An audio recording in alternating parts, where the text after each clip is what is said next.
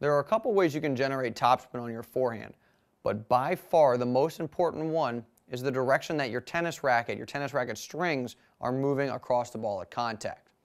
For example, if I swing straight through the tennis ball, this ball is not going to have any topspin. But if I swing up across the back of the ball, this ball is going to have a lot of topspin, and that's despite the fact that my strings are facing the same direction for the flat ball and the topspin ball. So again, it's the direction the strings are moving at contact that influences what kind of spin I'm going to have on my forehand. And that goes for topspin, backspin, whatever. Let's go to the FYB TV screen and watch some high-speed footage of Frank Salazar hitting a forehand to illustrate this point. Now Frank is going to swing from below the tennis ball up across the ball at contact.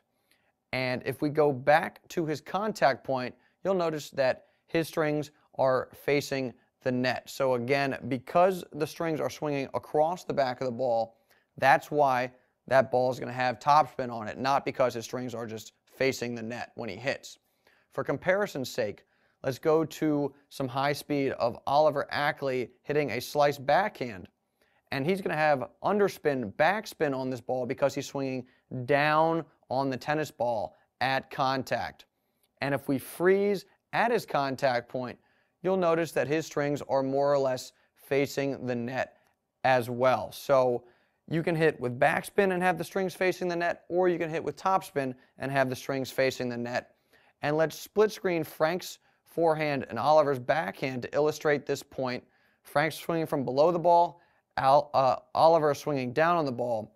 But if we freeze the two shots at contact, the strings are more or less facing the net on both shots, despite the fact that these two balls are going to have the opposite spins on them.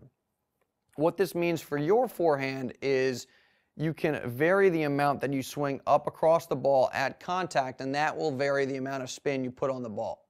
For a classic forehand, where you're pretty much swinging through the ball like we've taught in the fundamental section, you'll certainly get some topspin on those balls, but you won't get as much as if you were hitting a windshield wiper forehand where you really swing up across the ball, brush up across it, and that's why you get much more spin. So the next time you go on the court, vary the amount you swing up across the back of the ball, and that will consequently change the amount of topspin you're generating.